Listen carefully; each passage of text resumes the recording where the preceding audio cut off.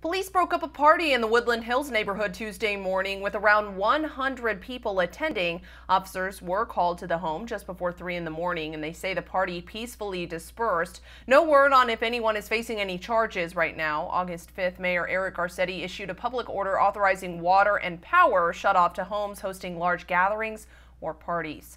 Katie Johnston for CBSLA.